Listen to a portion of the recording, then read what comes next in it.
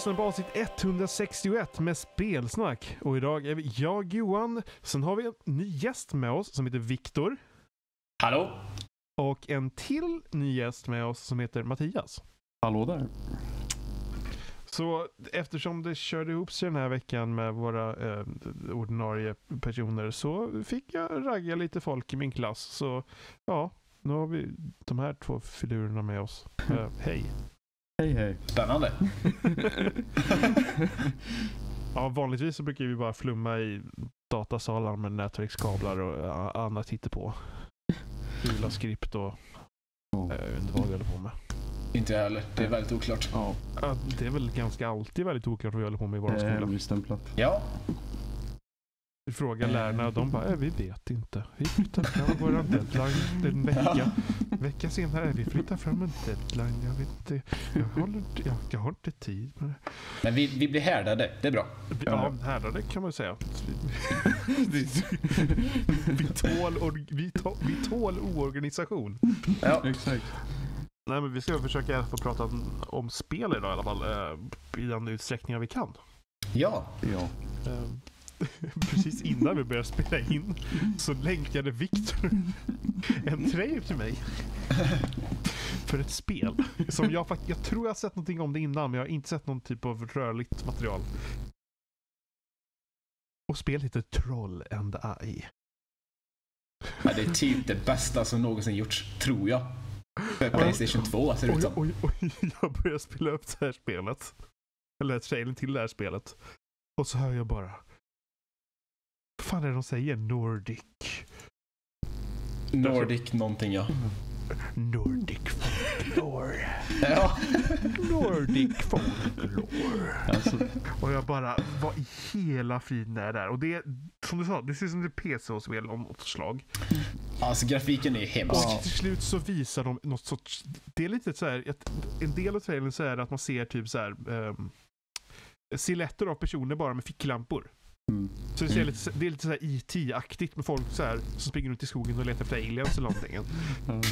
Och sen visar de det här trollet. Och det ser ut som någon sorts afrotroll. Rastafari-troll ja. Ungefär så.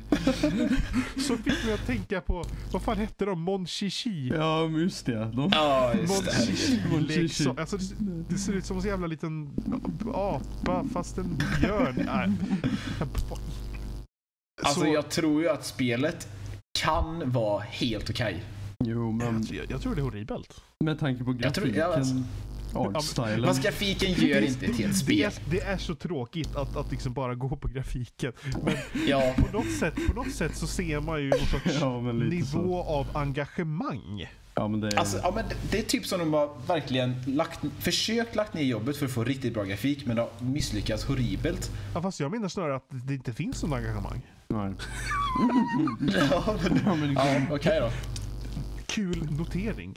Huvudkaraktären har också rastaflätor. alltså, Så är det hans så här själsfrände? Det är... Sådan troll, sådan son. Nej, men alltså, googla bara på Troll och kolla på den här trailern för att det är... är det... Men det måste vara någon sån grej för att det ser verkligen ut som trollet har rastaflätor och huvudkaraktären har det också. Ja, de är länkade i sina Rastafari-dreads. Jag är ju inte den som brukar liksom gå på grafik så i spel men man ser på något sätt ändå att grafiknivån i det här spelet säger en hel del om engagemanget som Johan sa tidigare. Det, Ja. Idén kanske är bra i grunden men grafiken bara sänker hela skeppet känns det som. Jag måste Det kolla vad de här har gjort förut för de måste ju ha släppt något spel innan. Vad hette de då? Maximum Games. Det lät ju väldigt eh, ambitiöst. Det är helt okänt för mig i alla fall. De har gjort. Har de Shards of? Darkness. Det är väl det här smygspelet? Men, ja, det är nyrelas... Heter det? Nylanserat. Nej, fast det är ganska gammalt tror jag. Eller? Det, eller? Nej, det kom ju nyss till PS... Jaha, det det kanske kommer kanske en remake eller något. Ja, det finns ett, ett äldre. Alltså inte så Ja. mycket äldre, utan bara några år eller någonting. Så jag tror att det är en uppföljare. Master of Shadows? Är det där du snackar om? Eh, Ja, det känner jag. För det, det var väl ett ganska populärt spel? Är det verkligen de Det som verkar som att det verkar som att nej, men det, är en, det är en uppföljare till det som heter Charge of Darkness verkar det som. Som också kom nu, ja du hade rätt Viktor. Sen har de gjort American Truck Simulator. Ja, det har jag spelat. Åh, de är sådana även- spel är väldigt eh, uppskattade har jag hört. Vänta, va? Är det de som gjort Farming Simulator 17? Skojar du? Finns det 17 stycken olika farming simulators? Nej, men alltså för 2017. Ja, exakt. Men jag tror, jag jag menar det. Var, men de måste gjort konsolversioner eller någonting. För att det är ju de här Giant Software som gör det. Att, det- vilket är, det här är ett kul spel. Om, om jag hade haft pengar över hade jag, eller för att citera mig själv, om jag hade, ha- för att citera mig själv, om jag hade haft nästan oändligt med pengar så hade jag köpt Farming Simulator 17. För att det är kul. Tacka gud för skatteåterbäringen Johan. Då ska jag köpa en server ju. Ja, okej. Man kan inte få allt. Men vad kan jag Nej, inte få? sant. Men jag tänkte så här. Jag vet att du har köpt en PS4 nu Victor va? Yes. Och Mattias köper en begagnad. Ja. Korrekt. Har ni, har ni hållit på mycket med konsol innan eller har det varit datorn främst som ni har spelat på? Jag har haft ett Playstation 2, ett Xbox 360 och ett Playstation 1. Jag har egentligen spelat sen på Xbox, alltså original Xbox, inte Xbox One, sen jag var väldigt liten och sen har ju det gått över till 360 för att sedan gå över till endast PC-spelande de senaste åren. Men eh, ja, nu har jag ju tagit tillbaka det med PS4 för jag känner att det är många spel som man går miste om genom att bara Ja, spela. det är i alla fall... Jag tycker det är skönt att ha en dator att spela på. Just eh, för ofta är spelen ganska billiga i jämförelse. Mm. Och så kan du kräma ut mer om du har en okej dator. Ehm, men just de exklusiva spelen är ju det man tänker på främst idag i alla fall tycker jag. Ja. Ja, absolut. Men sen så tycker jag alltid intressant det här med hur man kanske växer upp så här olika. För jag vet att vissa som jag har snackat med eller varit bekanta med, de har haft väldigt stor fokus på att det är bara PC som gäller. Det, det, det är inget annat som går att spela på. Sen så finns det ju personer som inte orkar med hela PC-svängen för att det är bökigt. Mm, det är Ja, två det är det. Man läger. har en hatkärlek till datorer. Mm. Ja, verkligen. Alltså jag, jag, jag var ju alltid som förut, så här, bara, åh vad jobbigt typ, så här, när man köper ett nytt spel behöva installera det och sådana saker på PC. Då. Så jag tänkte så här, konsol är ju helt klart superior. Men sen så upptäckte jag det här med liksom framerates, grafik, jag blev lite mer liksom, blev lite mer kräsen. Ja, jag blev, jag blev väldigt frälst när jag fick uppleva, när jag köpte min första speldator och fick uppleva liksom den riktiga upplevelsen. För innan dess hade jag ju inga nämnvärt bra datorer om man säger så. Så Nej, men alltså. Playstation för mig är ju att sätta sig ner i en soffa och bara ta det lugnt. Medan liksom, spela vid datorn är lite mer FPS, lite mer som kräver lite högre frames. jo, det Ja, är ju helt jo. klart. Jag skulle säga att jag, jag kan väl sitta vid datorn och spela allt möjligt men det är väl samma sak egentligen. Sitta vid tvn är en annan upplevelse. Mm, Ja. helt klart. Och Däremot är det jävligt lyxigt att bara köpa en, typ en Xbox-kontroll till PCn och så bara luta sig bak i stolen. Så Jo, går exakt. det rätt så eh, bra också. Det är ju det jag gjorde under många år eh, när jag bara spelade på PC. För jag ville ju fortfarande ha den här soff-känslan som man alltid snackar om. Så jag köpte helt enkelt handkontroller kopplat till tvn, HDMI-kontakt. Det, det går ju, det är lite bökigt varje gång man vill göra det. Men det är ju helt klart värt det. Men skulle inte en Steam-link vara ett perfekt val till dig Mattias? Ah, grejen är att nu har jag ju PS4 så jag känner att den Okej tar hand om all min soff-gaming på det sättet. Men eh, Ja, precis. På, sam, på samma gång så känns det som att Steam-linken är rätt så gammal nu väl?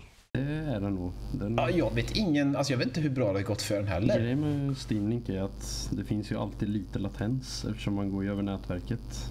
Den är ju inte Jo. jättestor men den är den finns där. Så det är väl Ja, men å andra sidan så kanske man inte går att spela COD på den. Det kanske blir Nej, mer nej, Civilization det- det- och Firewatch det, och sånt. det är väl sant egentligen men nu efter liksom efter att ha varit inne i PC-träsket så länge så är jag väldigt känslig för allehanda latenser om man säger så. Det- Allt Spelar aldrig på wifi, aldrig trådlösa Men, men jag, vet, jag vet att PS4 har en sån jätteflummig version att man streamar tvärtom. Man streamar från PS4 till Mm. din dator. Det är väldigt... Det, Varför? ja, jag tror väl det är typ så här, åh, flickvännen vill ha tvn. Okej då, då spelar jag Mm. väl via min dator. Ja, lite mer familjefokuserat. Men det, det är helt jävla värdelöst. Ja, det är det säkert. Jag tror jag... Ja, man brukar väl göra tvärtom. Att man vill köra från datorn till tvn. Ja, men alltså det är ju det här problemet med latenser. För att Ja. man liksom drar i spaken och sen så rör sig gubben en sekund efteråt. Och då ska man inte bara glömma att TVs i sig ofta har ganska höga latenser. Så det är ju det som gör att det skaver extra mycket. Att det ihop med nätverkslatenser gör ju upplevelsen väldigt... Jag kan väl anta kanske att, att utvecklare idag kanske är, alltså de måste ju vara medvetna om latenser i tv-apparater. Ja, jo. Så det, det- det är ju fullt möjligt att de kanske anpassar sig till det också. Så att när det väl börjar gå över nätverket då blir det ännu konstigare. Ja, det, det är det som är lite jobbigt med hela tv-världen överlag. Att latenser specificeras ju inte på ett, på ett bra sätt på tv-apparater. Man kan aldrig kolla på en tv-apparat och se latensen direkt utan det måste specifikt testas för det. Så tyvärr så kommer ju alla undan som har väldigt dåliga latenser. Så länge man har en bra bildkvalitet och lockar in kunden på det sättet. Men, Vet eh, Jag har ju halvbekanta som spelar ganska mycket Super Smash och turnerar i det. Mm, Eh, Och då är det ju CRTs som gäller. Ja, det är det. De kör bara tjockis-tv. För att det blir för mycket latens med de flesta olika platt-tv-apparaterna. Ja, så när det gäller sådana spel då är det ju absolut kritiskt att man har så låg som möjligt. Det kan nog inte moderna LCDs ens. Ja, Nej, Men tror ni inte att Steam Link har nästan löst det då? Det är ju en dedikerad hårdvarulösning för att streama spel från datorn Alltså, till tvn. Den håller inte på med någon sorts magi. Den, Nej. det enda den gör är att streama, jag tror det bara är, är vanlig sån här, vad heter det, X26, eller 26, vad säger man, H264? fyra. Ja, exakt. Ja, ja. Jag tror det bara Precis. är som vanlig film. eh, Alltså, komprimering man ska och så- går det nätverket väl? Ja, det är det nog säkert. Man ska ju ha i åtanke att de som köper Steam Link de är nog inte så känsliga att de bryr sig om sånt. Det är nog mera familjer Nej, och... precis. Men på samma gång, eh. de personerna har de ens Steam? Är, liksom, är de ens in, är liksom, Mm, det, det, det, det måste vara svårt att sälja den. eh, Ja, det tror jag, för den är ganska ofta på det ändå. Ja. Men å andra sidan så har den ju väldigt bra betyg om man går in på Steam Store och kollar på den. Så ligger overall ve- very positive. Men den, den kör bara trådata. Eh, nej, den kan köra wifi också, men de rekommenderar trådat. Mm. Ja, ja, alltså kör man, egentligen om man kör trådat så är det ju relativt lite. Det är ju ganska bra ja. Men Det är så, fort, så fort du lägger till wifi så blir det minst en till två millisekunder på. Ja, och så Eller, kan det komma all möjlig mer. varians och beroende på hur huset ser ut så blir det ännu värre. Och, ja, vi vet ju alla hur trådlösa nätverk kan vara. Så, Jättekonstigt. mm, Ja, verkligen. Eh, Jag tycker min dator ändå bara kan vara Den är inte... 4-5 meter ifrån routern. mm. Eh, Mm. Och ändå så är ju det rätt så flummigt. Men jag, har liksom, jag har ju mitt PS4 bokstavligen, ska jag kolla över lite här, två meter, tre meter ifrån min router just nu. Och den har jag kört på wifi sen jag skaffade eftersom jag inte hunnit sätta upp en switchlösning för min lägenhet än. Så, och jag kan ju knappt, alltså det händer ju ofta att eh, jag får vänta en, två sekunder eller tre när man laddar någonting och Plex kan ibland behöva buffra liksom filmer och det, Wifi på PS4 är helt horribelt. Ja, det har jag konstaterat. Ja, det kan jag intyga. Det går, inte- jag tror inte ens det går. att- Är det, inte, det, det är inte ens användbart. Och det, är, Det tar jättelångt ner att ladda hem spel på, ja, på wifi. och det är Där ju, finns ett jättefult trick. För att det kan vara lång nedladdningstid även om du har ethernet också. Då kan, det Alright. hjälpa, då kan det hjälpa att pausa nedladdningen och starta den igen så får du högre hastighet. ja, det där, Vad är logiken i det? Jag har absolut ingen aning men det funkar. Det måste jag testa. Jag får köpa ett spel bara för att testa det. Ja, Du kan, du kan ta bort spelladdningen igen. ja, det är ju det är ju också en grej som är ganska jobbigt med wifi-nätverket. Oavsett hur bra utrustning du har i sig, alltså själva nätverksutrustningen, så kan alltid enheterna själva vara flaskhalsen i anslutningen om man säger så. Det är lite tråkigt men ja, det är, då är det tur att man har kabel om man behöver. Har ni, har ni spelat det senaste? Eh, Eh, Jag har nyss köpt den nya, vad heter det? Horizon Zero Dawn Ja. till Playstation 4. vad tycker du om Har du det? spelat, har du spelat mycket då? Ah, jag har inte hunnit så mycket. Det är mycket skolan nu. Men eh, ja, det är ett väldigt snyggt spel. Det är fruktansvärt snyggt. Mm. Ja. Och eh, ja, jag gillar det. Det är kul. Ja, jag, jag har inte bevandrats mig så mycket i nya spel på sistone utan jag kör mest Overwatch multiplayer. Det är min, mitt heroin så att säga. det, det, ja, har, det kommit några, har det kommit något nytt det senaste i spelet? eh, ja, det uppdateras konstant. Just nu så, eller nu över natten så kommer de implementera en ny hero och eh, Ska du spela eller? Det kanske inte i natt men eh, imorgon är mycket möjligt för det är ledig dag imorgon. Men det är väl en ny eh, season va? eh, ja, det är det också ja. Season 4 så det är ju För spännande. det, för det är ungefär samma system som det varit i de flesta Blizzard-spelen va? Att det är typ säsonger helt Ja. enkelt. de kör Ja, säsongssystemet. Det är typ tre...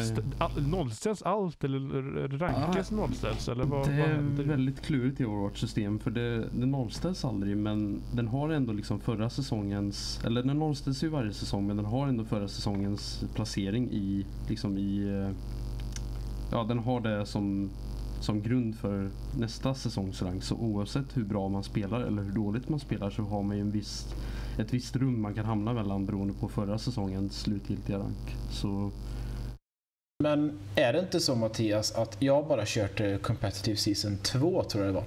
Men eh, är det inte så att man får köra 10 stycken matcher i början av en ny säsong så får man se vart man ligger ungefär i rank? Ja.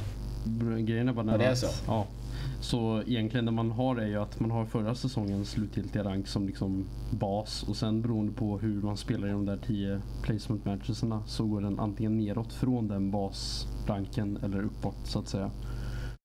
Eh, Ja, precis. Men det låter som ett ganska smart system att det ändå baseras på Mm. det tidigare engagemang men det kollar också hur du spelar nu. Mm, det, Ja, det, det har funkat sådär va?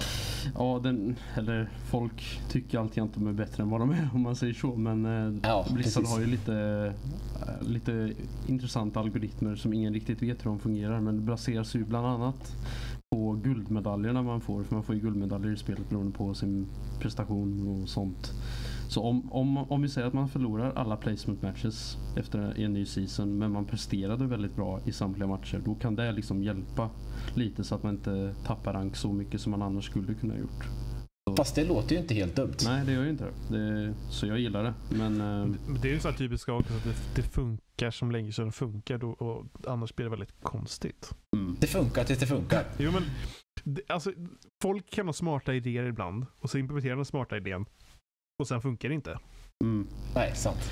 Så det är väl kul att de har funkat, eller det har väl funkat någorlunda antar jag. Ja, säsong Ja. ett var lite, då hade de ett väldigt konstigt system där de hade, de hade typ en, jag tror det var 90% eller fler av spelarna som låg i intervallet rank 40 och 60 så det var ju en väldigt konstig skala. Men eh, det fixar de ju sen i säsong två och framåt där de nu kör det, det måste ju vara jättesvårt att veta, även om de har interna speltester så måste ju det vara jättesvårt att veta hur det blir i verkligheten. Ja, det är, Ja, verkligen. det är väldigt Men å andra sidan så var det ju säsong ett också, så det, Ja. de har ju fintunat efteråt. Verkligen. Nu, nu är det alldeles klockrent tycker jag. Alla matcher man kör känner man att de är inte för bra oftast. Och, men det är ändå en jämn match liksom. Det är spännande och det är Ja. roligt. Så, jag gillar det. Du då John? Vad jag har spelat? Jag försökte spela Mass Effect. Mm. Men Vilket Mass Effect? Det nya? Nej, inte nej, det. nej, nej, ettan. Mm. Ettan? Oh, det kan inte jag spela. Det har jag försökt så många gånger att ge mig in i, men det går inte alltså. Och jag försöker köra liksom 100% nu vad fasen heter det när man är god? Inte Renegade utan? Eh, Nej, ja, fast det låter... eller? Jag vet inte. När man, när man är god i alla fall. Ja, Renegade är inte god, Nej, men Renegade eh, är den andra. Ja, precis. Och så körde jag ett uppdrag och så klickade jag fel i en dialog. Så jag fick plus 25 Renegade. Nej, för Det är fan. ganska mycket alltså. Ja. Och, jag, och, och så kollade jag på om jag kunde ta en sparfil innan och då sparade den efter den dialogen. Ah, Såklart. sneaky. Så jag, jag, måste, jag måste sätta mig och spela om typ ett par timmars spelande. Ja, men jag, men jag, kan, jag kan inte liksom fortsätta med det. Det, det var så mycket på en gång. Du spelar Jesus eller vad? Nej men jag, jag vet inte. Jag, jag vill liksom, ska jag köra någonting så vill jag liksom köra det ena eller det andra. Okej. Men det, är- det är ju typ att om man, om man får, får man mycket Renegade eller får man mycket, vad den heter, den, goda varianten, så eh, låser man ju upp olika, ka- eh, olika um, dialogsval. Eh. Mm. Mm. Så att du kan ju övertala personer med antingen ditt, di- med hot då eller med att du smörar lite. Ja, just det. Ehm, Klassiskt. Det Så- heter, eh, vad heter det? Vad sa du att det heter? Paragon. Det heter Paragon Ja, förut. det är det. Ehm, Ja. Så, så om, om man liksom råkar göra mycket konstiga val som hamnar i mitten, man får bara lite av det ena och lite av det andra, så slutar det med att vissa liksom, eh, val när du pratar med personer så får du väldigt svårt att göra det du faktiskt vill. Så ja, det är bara att bit, bita tag och köra om det uppdraget. ja. Det, det är väl, men det- det, är ett väldigt föråldrat spel. Ja. där, Ja, det är det. alltså jag, jag spelade ju på Xbox för länge, länge sedan och jag tyckte att det var ja, det, var väl- det är ju väldigt bra dialog och så, men eh, man känner väl att alltså eh, nej, jag vet inte hur jag ska utveckla. Ja, jag, jag gick ju från att spela Mass Effect 2 direkt till att spela Mass Effect 1. Och det var ju jättejobbigt att gå tillbaks Ja. till Mass Effect 1 för jag tyckte det var superkrångligt att komma in i. Jag hade inte den, det tålamodet. Men det är så konstigt uppläggt med många saker. Eller upp- uppläggt? Upplagt. Ehm, just för att det har ju mycket om de här rollspels ehm, delarna i sig. På att till exempel när du, när du skjuter med till exempel snipen så ba, även fast ditt sikte är exakt på motståndaren så är det inte, är det inte säkert på att du träffar. För att det är lite slump i det också. Mm, just det, sånt där.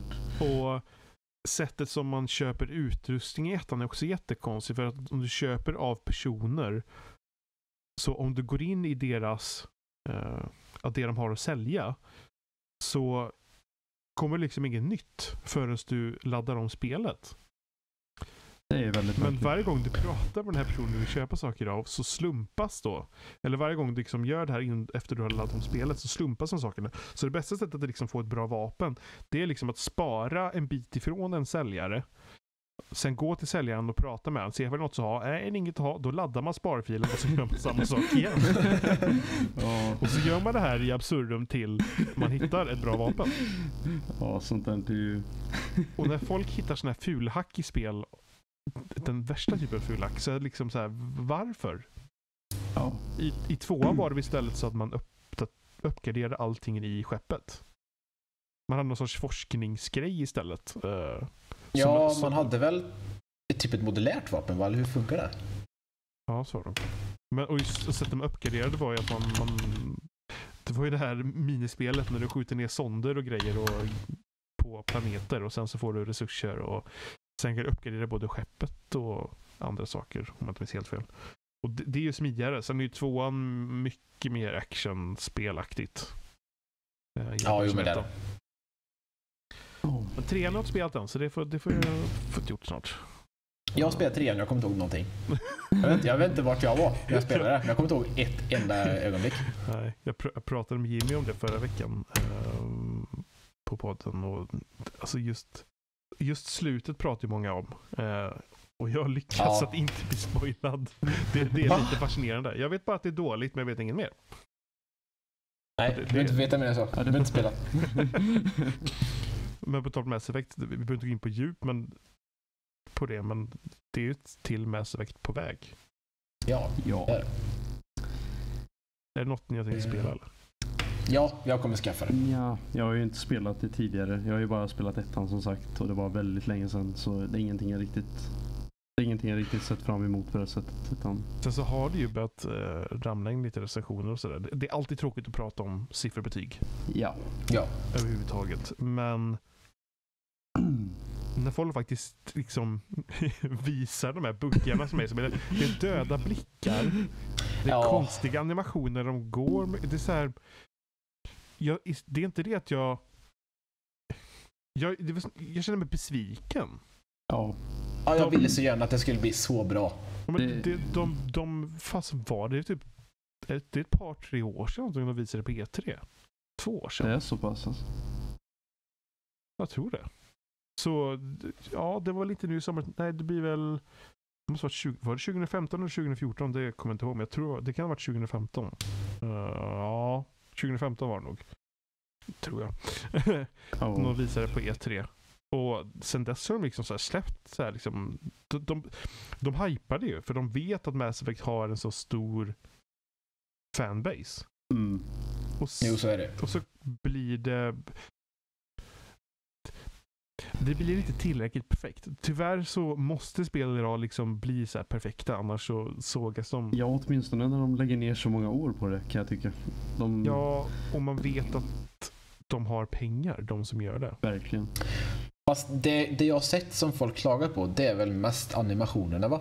Men det Mm, är döda blickar och grejer. Ja. Eh, Så det, ja, Ja, det, men det, alltså visst, döda blickar, det kan jag leva med. Det kan jag bortse ifrån. Jag, ja, jag såg eh, när de spelade multiplayer tror jag.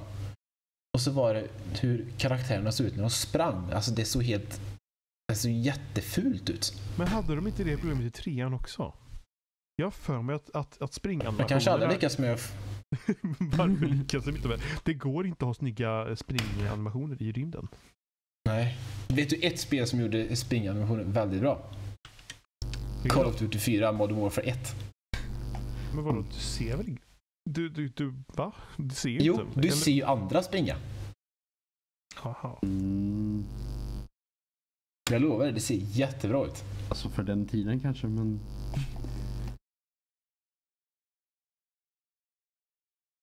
Jag hitt- jag hittade ett, ett klipp på, från Mass Effect 3. Ska vi se. Jag skickade i Discord. Så får ni se.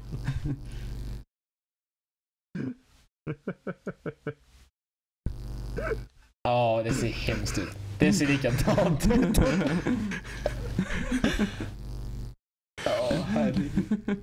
Men det, det ser helt horribelt ut. Men det är ganska Ja. intressant att det är, det är så stora utvecklare. De, Ja. de har så mycket pengar som de lägger på det. Men ändå så slinker sådana här konstiga detaljer igenom. Alltså produkten är förmodligen mycket bättre än den här detaljen. mm, Men hur slinker sånt igenom? ja, jag Ja, förstår. jag förstår inte det heller. De använder ju, jag tror, jag tror jag läst att det har att göra med att de bytt själva spelmotorn för det här spelet till Frostbite. Och att de inte använde det tidigare. Men ändå Fast så, Dragon Age? eh, Det är samma Ja, just det, det. eller? eh, jag tror Andra Dragon Age Inquisition, Inquisition Ja, Frostbite. ja, det. Mm, ja, då kan man ju tycka att de borde... Det, det är väl kanske, jag vet inte om det är att det är någon sorts, det kanske inte är exakt samma studio, utan det kanske är någon sorts under, det kanske är olika team. Ja, jo det är Eh, sant. Mm, jo, Så- men så brukar det vara. Så det är fortfarande så att det är väl kanske inte helt snällt att jämföra de två spelen.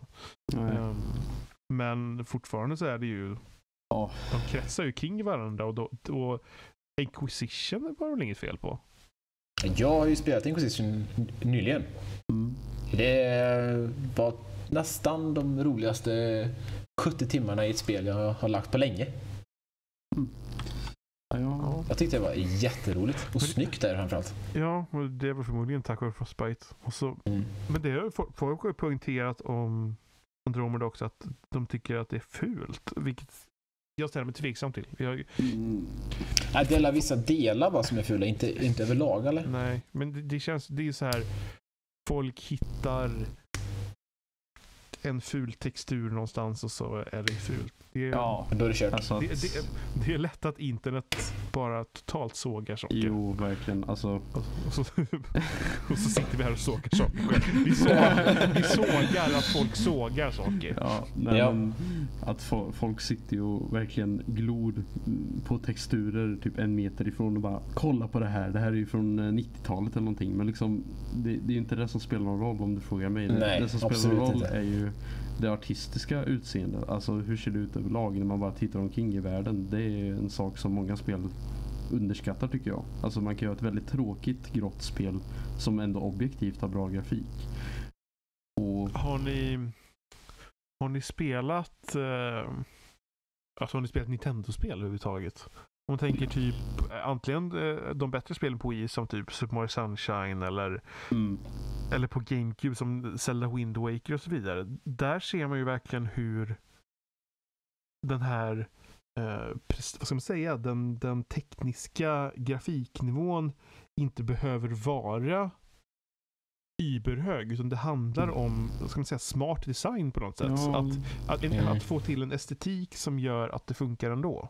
Mm, det, ju, det gäller ju egentligen Wii U också. Den har ju verkligen ingen beräkningskraft att skryta med men jag tycker att spelen på Wii U ser helt perfekta ut de flesta av dem. Om vi tar Super Smash Brothers och Mario Kart. Ja. Alltså det är något av de snyggaste spelen rent subjektivt som jag har sett.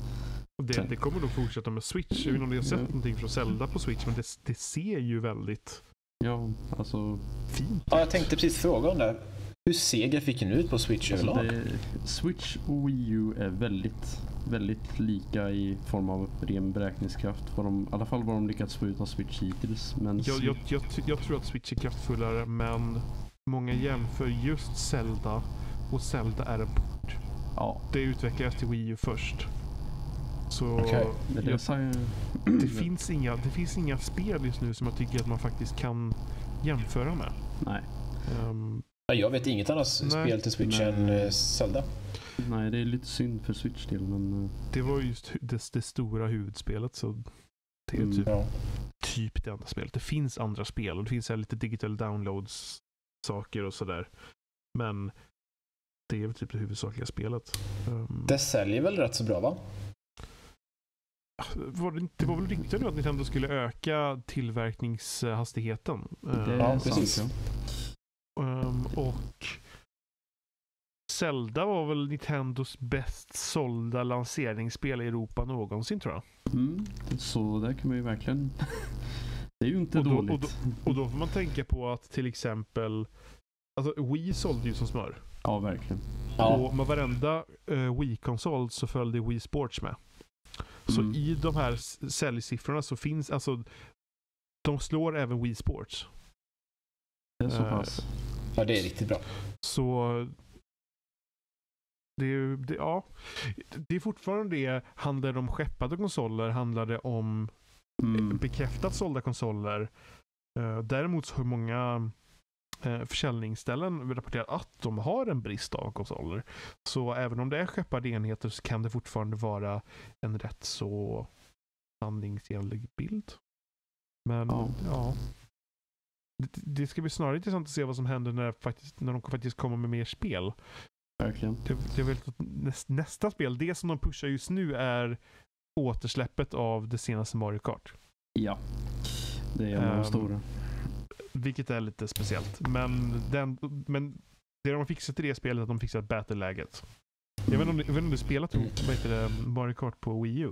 Lite. Bara hos någon kompis det- då. Battle-läget i det är spelas på vanliga racingbanor. Mm. Det har Mm. inga... För de, alltså, har man spelat Mario Kart på GameCube eller på 64 så när man kör de här battle-lägen med de här ballongerna så brukar det vara typ som en fyrkantig arena snarare. Ja.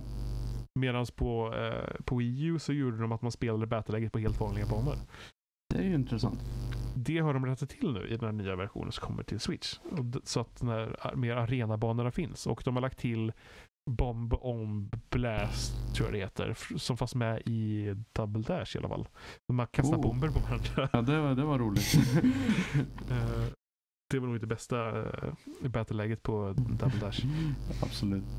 Double Dash är för övrigt det bästa Mario Kart-spelet. Amen. Jag har faktiskt inte spelat eh, många Nintendo-spel alls. Jag har varit väldigt dålig på att skaffa konsolerna. Så Mm. jag har inte så mycket insikt i det. Men eh, jag tycker i alla fall att Nintendo verkar bara som de kör liksom samma spel om och om igen. Zelda, Super Mario, Super Mario Kart, allting sånt bara om och om igen. Det, det är ett vinnande koncept. Ja, det måste ju vara det. Folk gillar det Det är uppenbarligen. det som är intressant med nya Zelda, för det är väldigt annorlunda. Det, Ja. det, det, man, som jag förstått så kan man springa till slutbossen direkt. Mm, Men, men, du, väldigt... kommer- men du kommer förmodligen dö för att Ja, det, du inte har tillräckligt bra saker. Eh, och sen så är det alla, alla vapen är förbrukningsvara och det, det är liksom Ja, de, de, man, kan, man kan liksom gå var som helst, man kan klättra var som helst. Och det är, de, har, de har förändrat ganska mycket. Sen så kom de ju med, på Wii U så kom de med ett spel som heter Splatoon. Mm. Mhm. Och det var ju att man sprang runt och man sköt färg. Ja. Eh, och den som sp- sprutade mest färg, den vann. Eh, och, det var ju ett helt nytt koncept.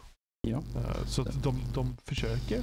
Verkligen. Men, men, Ja. men det är alltid problem med Nintendo att de köper samma gamla sak på alla fronter. Även liksom precis som nu på Switch. Jag vet inte om ni haft, eller om ni inte haft Nintendo-konsol förut så är det svårt att veta. Men, Jag har ju tror haft för- ett GameCube men that's it. ja, men, men det började med Nintendo DS det här med att om man vill spela multiplayer så skulle man ha en lång sifferkod som man bytte med en annan person. Mm. Så man gav den här långa sifferkombinationen till en kompis. Sen fick man en lång sifferkombination av sin kompis. Och då gjorde det att man kunde spela online tillsammans. Ja, Det är inte jätteoptimalt kanske. Det här höll de på med till Wii U, där de ändrade så man kunde lägga till varandra med ett smeknamn istället. Så det var ju bra. Nu kom Switch. Nu lägger man till varandra med friendcodes igen. Nej. Har vi tillbaka till det alltså? Spel. Jag tror... Alltså det har ju varit så mycket snack om det här, men jag tror som väldigt många andra att Switch inte var helt klar när de släppte den. De har snabbat ut den. Alltså online-funktionerna finns ju inte än överhuvudtaget egentligen. Nej. Ehm, utan de ska komma senare i år. Det kommer kosta pengar och hit och till höger och vänster. Så det är möjligt att det kommer, för det finns ett kontosystem. Så det kommer säkert att man kan lägga till, kanske, med namn. Vi vet inte. Men att ens det här systemet finns kvar. Ja, jag kan väl tänka mig att det är på grund av Wii U-fiaskot som det ändå blev med så lågt antal sålda enheter som det blev att de behövde få ut Switch så fort som möjligt för att få lite... Ja, det har ju med... Det har ju med, fan säger man, beräkningsår eller vad säger man? Ja, jag vet inte Det har, riktigt. det, det har med aktiebolag och Ja, eh, hur mycket pengar de har tjänat på ett år och så vidare. intressant. var de- Då var de tvungna att släppa det i mars för att Switch eh, förmodliga eh, framgång då skulle räknas med det här. Mm. Eh, och då var de antagligen tvungna att snabba ut den. För annars så har Nintendo släppt mycket konsoler på hösten. Uh, om jag inte Ja. helt fel. Men jag tror det brukar vara typ så här, I USA kallar man det ju typ Holidays. Det är ju typ ja, vid Thanksgiving framåt jul sådär. det gäller ju eh, nästan om alla konsoler egentligen. Xbox, Playstation Ja. brukar Så- Ja, lanseras. precis. Så det är väldigt speciellt att liksom släppa dem som de gjorde. Men det var förmodligen just för att klara det bara. Det man märker också med Switch är ju med reklamerna att de är ganska riktade mot ja, typ oss. alltså inte så här ganska vuxet inriktade om man tittar på deras reklamer tycker jag jämfört med kanske tidigare konsoler som de släppt.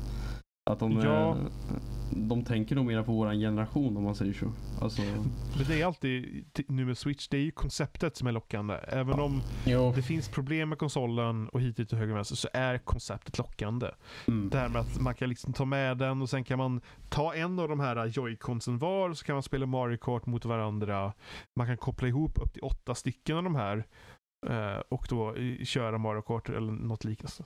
Mario Kart, Mario Kart, Mario Kart. Men det är ett kul spel. kort, var det kort. Nej men det, det är ett kul spel och som visar lite hela grejen. Eller Splatoon då, springer runt och skjuter färg på varandra då. Mm. Och just, just det här sättet man kan ta med den överallt. Som, som jag då. Jag hade skitkul att ha haft den för jag har suttit med den på tåget varje morgon. Mm. Mm. Men det är just den grejen som, som är lockande. Sen så har de sina idéer som gör att vissa saker blir mindre bra och andra saker faktiskt blir bra. Så Ja. Ja, alltså konceptet tycker jag verkar klockrent. Det lockar mig verkligen. Jag har aldrig liksom känt att jag vill ha en Nintendo-enhet någonsin nästan. Ja, men det, det konstiga är att man fortfarande ställer sig frågande och liksom jag kanske ska vänta lite till tills jag ser hur det blir. Mm. För nu har Ja, för den verkar ju inte helt eh, klar om man säger så. konsolen släppts så man bara liksom, nej jag vet inget än. Ja, den har släppts. Nu väntar vi på version 2. Sen så måste jag säga att priset svider ju för många med Switch. Det är ju lite högt. Dels för då? Nintendo-konsol. Den kostar 3700 ungefär. Och eh, Det är problematiskt med det hade ju alls förvånat mig om PS4 och Xbox One kommer säkert få ett jättefint pris eh, vid jul. mm, Så jag tror, men det är bara på gissningar, men jag tror att Nintendo kommer vara tvungna att sänka priset vid, vid Du eh, kan ju alltså- det tror jag med. Du kan alltså köpa Sony Playstation 4 Pro samma pris utav Exakt. Nintendo Switch. Det, visst det är en stationär konsol så det är ju inte riktigt Ja. samma jämförelse. Men om en förälder till ett barn till exempel ser Switch för 3 och 7, en handhållen konsol mot ett Playstation 4 för ja, kanske 2500 om det gäller nya Slim-modellen. Då blir ju kanske valet ganska enkelt. Med Jo. tanke på priserna. Så jag Ja, tror och sen- Nintendo kommer få prissänka lite framöver. Det är nog bara hypen som gör att den går att säljas för det som den säljs för just nu känner jag. Ja, det har väl även varit lite indikeringar på att eh, försäljningssiffrorna har börjat att sakta ner. Så att det, ja, nej. det blir intressant att se hur det går. Men, men jag tyckte det var kul just att du, Victor, inte spelat så mycket Nintendo-spel. Men du sa ju faktiskt att du har haft, du har haft Playstation. Mm. För- Playstation 2 och Playstation 1. För, för där, där blev ju lite som ett, ett läger i nästan eh, på alla sätt. Precis som innan så var det många som antingen hade de eh, Sega Mega Drive eller så hade de Super Nintendo. Så sen när 64 kom så, eh, 1964 då, så, så var det antingen det eller Playstation. Och sen när GameCube kom så var det antingen det eller, eller PS2. Ja. Mm. Ja, Playstation 1 fick jag ju utav min mamma tror jag. Playstation 2 var ett aktivt val. Det, var- det var ett aktivt var- val. Då var det, då, Ja, då, det var det, var, då var det redan fast. ja, det var alla polare som hade det så du var tvungen att ha det också. Ja, men det var ju lite... Det, det pumpades ju verkligen ut spel till den. ehm, just PS2. Mm. Ja, Och- Playstation 2 sålde väl i fruktansvärd mängd Ja, eller? de, Ja. det var de, de sålde... Fan, de satsade ju på tioårsperioder. Så de slutade väl sälja Playstation 2 2012 eller någonting Det sånt är där? alldeles korrekt. Det vet jag att jag har sett någonstans. Och de tillverkade ju, vad var det? Ja, Fifa... Var det Fifa 14 till och med? Som tillverkades för Playstation 2 tror jag. Och det var Det en är av jätte, jättekonstig nedbandad från början. Men, ja, jo, men det, faktiskt existerade. Det är ju fascinerande. Ja. Det har alltså sålts 150 miljoner Playstation 2. Det... Och det är bekräftat av Sony. det är en siffra. Det är, det är fantastiskt bra. Mm. Ja, jag, jag hade ju Xbox original och jag är inte ledsen för det. För hade det inte varit för den hade jag aldrig upptäckt Halo, vilket är min, Ja. förmodligen min favorit trilogi Ja. i alla fall. Halo 1 och till Halo 3. Har du spelat. Reach då? Jag spelar Reach, och ja såklart. Nej, tyvärr. Jag spelade Reach gillar jag faktiskt. Det är många som kritiserar det men det är ju gjort av Bungie, samma studio. Och jag tycker att även om det, det var ju lite av en modern, modernisering av Halo. Med, de tittar ju mycket på, säkert på Call of Duty och hur andra... Ja, de hade de här um, perksen där man kunde flyga och Ja. grejer. Visst, det, det var väl inte riktigt som gamla klassiska Halo men jag gillade ändå den, det perspektivet och den tappningen av Halo. Även om Det jag... var, det var ett väldigt bra spel. Ja. Um, sen tycker jag faktiskt att Halo, jag vet inte om du spelat Halo 4? Eh, jo, lite fast jag, jag slutade Halo- snabbt med Halo 4 är faktiskt helt okej i kampanjen. Vad jag har hört så är Halo 5 horribelt. Ja, det, jag har aldrig spelat Halo 5 men Halo 4 har jag kört mycket med kompisar och kampanjen då. Och den var helt okej tycker jag. Men eh, man, det märks Det- att det inte är Bungie, det är ju det enda. Jag, jag, Ja, det, det blir ju annorlunda. Uh, men ja. men alltså, Alltså, multiplayern i bland annat Halo 5 ser ju ändå rolig ut. Jag, jag tycker ja, att Halo... så man, ja, multiplayer ska vara helt klockren i Halo 5. Ja, Medan Det har alltid varit i alla Halo-spel. Nej, Halo 4 s- tyckte inte folk om multiplayer. Nej, Där var det liksom, Okej. tar du Halo 5 och Halo 4 så blir det liksom tvärtom. Halo 4 hade bättre single player än multiplayer. mm, Halo håller jag 5 med har bättre multiplayer än single player. Så Okej. någon balansgång där lyckas de inte riktigt få till med. Nej. Um, sen har de väl även sagt att all, de, alla deras liksom first part First uh, party game, liksom deras, deras egna utvecklade spel, eh, kommer ju i fortsättningen att komma till Windows också. Mm, det Så lite... det ska- blir intressant om då, vad det heter, om det heter Halo 6 eller vad det heter. Nästa, det heter nog inte Halo 6. De har säkert tagit bort siffrorna nu tror Ja, jag. jag vet inte vad de ska kalla det. Nej, jag har ingen aning. Men nästa Halo-spel, eh, om det kommer till PC. För att Mm. Det vore Det har- riktigt intressant. Men det har inte släppts något Halo-spel på PC på senaste eller? Det är bara Halo Det 1? var eller? senast Halo 2 för vissa. Två, okej. Och en multiplayer-version som släpptes bara i Ryssland som free to Ja. play. Den har jag provat. Va? Den var väl, på tal om latenser så var den alldeles horribel i det avseendet. Men annars så var det en klockren, eh, en klockren om... eh, Jag tycker det låter som en klockren release annars. Alltså det var en klockren omarbetning av Halo 3 bland annat. Tror jag de gjorde många banor av. Och det, det spelade nästan exakt som Halo 3 faktiskt. Det var ganska Ja. intressant att prova men ja som det- sagt. Det finns ju också uh, map-editorn till Halo 5, eh, Halo Forge, eh, finns ju till PC också. Så, och, där, och då kan man testa liksom banan på datorn. Mhm. Ehm, så spelet är typ så här halvt portat redan till PC. Ehm, Ja, det borde vara jag. Det borde bra. jag antar att nästa spel kommer att komma till PC också. Ja, speciellt med tanke på Microsofts strategi på sistone. Där fler och fler spel av någon anledning Ja, lanseras på PC. För jag känner att Ja. de håller på att döda själva Xbox-varumärket Fast- lite. jag, jag tror inte det. Jag tror att Xbox kommer verkligen, för folk, eftersom vi pratade om det tidigare avsnitt också nu, så datorer är krångliga. Det Ja. spelar absolut ingen roll hur mycket Microsoft än försöker med Windows och alltihopa. Datorer är krångliga. Jo, till den genomsnittliga användaren är de väl det. Men Ja, men det, ges, det är ganska många genomsnittliga användare där ute. det är ju i och för sig sant. Men eh, Folk som bara vill sätta sig ner och spela. Så jag tror inte att konsolen kommer försvinna. eh, Utan som det typ liksom märks med Scorpio som de ska göra och så vidare så verkar det som att jag tror i alla fall att, att Xbox kommer bli en soffifierad eh, Windows-dator som du kör med kontroll och Mm. bara liksom kan sätta dig ner och spela. Ehm, ja. jag tror nog att konsolgenerationen kommer nog faktiskt försvinna eh, hos Xbox. Så kommer de... För att de kommer fortfarande sälja konsoler. Men Mm. genom att släppa spelen till datorn också så säljer de spelen till de som har datorer. Och det är ju några stycken som har det. Det kan ju som du säger vara lönsamt ändå för Microsoft. Dels eftersom så som jag förstår det så är det ju lättare att utveckla med den nya arkitekturen nu för Xbox. Alltså att porta spel till Windows, alltså till PC.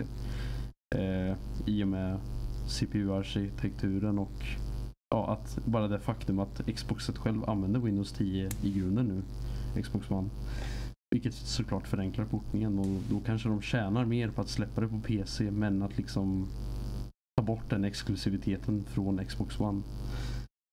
Det kan ju Det gäller bara att de blir bättre på det. För eh, Forza, Forza Horizon 3 som jag har till datorn funkar. Men det har sina problem. Ja, Eh, jo, jag har hört mycket om det. Det, det funkar. Ja. Det, alltså min kusin kan inte spela längre. Han har ett, ett eh, GTX 970 och det funkar att spela. Men sen när det kommit uppdateringar så har det blivit svårare och svårare att spela. Det är ju Och- inte bra. Du hade ju ett väldigt konstigt problem med det Johan. Ja, du menar... det med micken? Mm, men det har de ju faktiskt fixat. men, Ja, det, okej. men det var problematiskt för det var just då jag faktiskt ville spela eh, med Robin som är i podcasten också. Då. Eh, och det gick liksom inte. Vi, jag var tvungen att ha en mobiltelefon bredvid och så körde jag Skype på den och så hade jag liksom en hörlursnäcka i mina hörlurar för att få han. Men det, det gick typ. Men, Det funkar. men efter det har det faktiskt funkat. Och Xbox Alltså hur de har kopplat ihop Xbox med Windows 10 funkar faktiskt helt okej. för att du startar liksom ett party och sen hoppar de som spelar Xbox med bara. Och så Okej, funkar ja, det. är ju smidigt. Eh, Det är till och med som jag verkar som när jag har kollat lite att de kör någon typ av VPN-tjänst typ. Som Jaha. går till deras egna servrar. Så man, hopp, man hoppar över natt. Vilket gör att det krånglar mindre med voice chat. Hmm. Ja, det kan ju vara väldigt eh, smidigt. Man slipper nata. Ja. Så det, det funkar faktiskt helt okej. Eh, Just att man kan spela med konsol. Och eftersom det förmodligen kommer komma mer och mer spel. Alltså tänk typ Halo då. Ehm, Så kan det vara kul att man kan spela liksom med sina kompisar även om man har eh, ett på dator bara. Ja, ja. Det gäller bara att de fixar så kontroll så att Spelar du med kontroll så får du spela med folk som spelar kontroll. Spelar du med Ja. mus tangentbord så får du spela med dem. Det där är ju Ja, många kontroverser med. Bland annat på Overwatch. Eftersom på konsoler så kan man ju med lite med olika verktyg använda mus och tangentbord till Xbox och Ja, de, PS4. som, de som emulerar Ja. typ Ja. Och det är ju inga, det är ju inte olagligt eller alltså det bryter ju inte mot några, några bestämmelser i något spel eller något sånt. Så det finns ju många liksom i de störst, högsta rankerna på till exempel Overwatch som använder mus och tangentbord ganska uppenbart.